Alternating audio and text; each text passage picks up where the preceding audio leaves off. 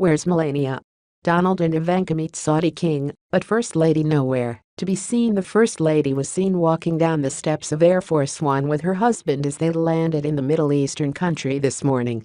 But later footage showing the Trumps arriving to meet King Salman appeared to show she was not in the visiting party. The clip shows the president's huge motorcade as it drives up to the steps of the palace.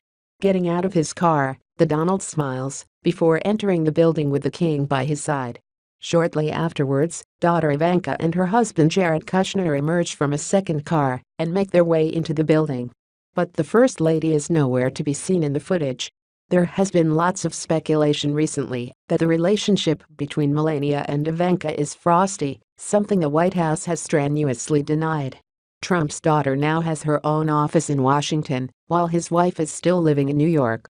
Ever since he was inaugurated as the 45th president of the U.S., there has been footage of his wife looking less than happy in his company.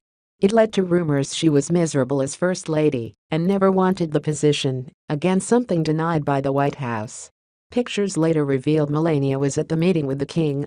During his two-day visit, the president is expected to announce a $100 billion plus arms deal with Saudi Arabia as evidence of a renewed commitment by the United States to the security of the Gulf region.